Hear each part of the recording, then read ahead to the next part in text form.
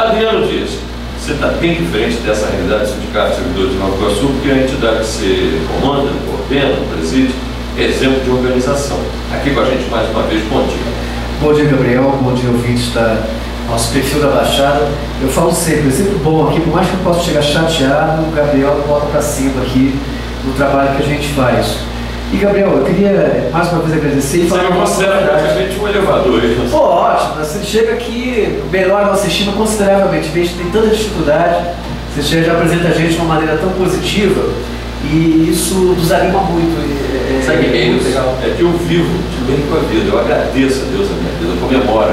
E tem dificuldade que você nem imagina, se eu narrar aqui, você vai chorar. Todos nós temos, mas faz parte, né? A nossa passagem aqui é, faz parte desse, dessa dificuldade.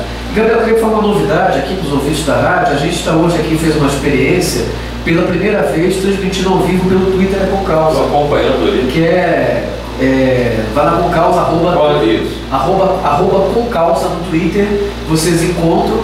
A rádio também é transmitida ao vivo. Tem o link da rádio também no site da Concausa, com, nosso, com nossos parceiros. Tanto, tanto o link da, da, da página da rádio, quanto o link da transmissão ao vivo, que é feito também é, é, via internet direto. E mais um canal que não se anula, seria mais o pessoal que está na nossa rede, na rede do Twitter da Causa.